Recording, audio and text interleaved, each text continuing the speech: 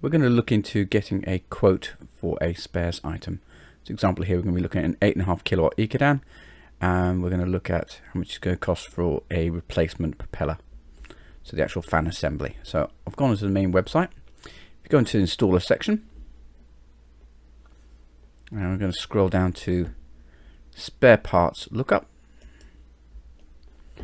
and the reference there so we're going to put in just the beginning part of the reference there so PUZ so then we're going to look into specifically which one we're looking for here. So I've taken the actual service reference which is that one there for this particular model.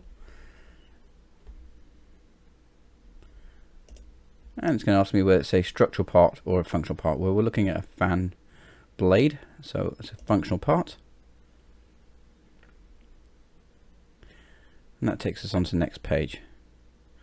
So it gives you a list of all the items there and we've got a nice little image there. So we click on the image.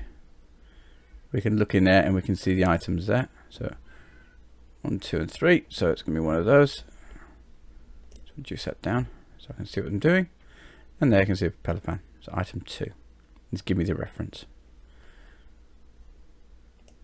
What I can do there is I can put one in there so that's what I'm interested in. Quantity.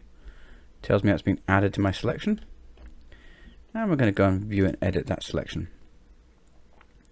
One thing it's also going to ask for is the actual serial number. So this is making sure we're going to send you the correct item for what you've got. And also it's going to tell us if it's inside a warranty or not. Save that change. And then I'm going to put in some details. So I'm just going to use my company details for example. And I'm going to request that quote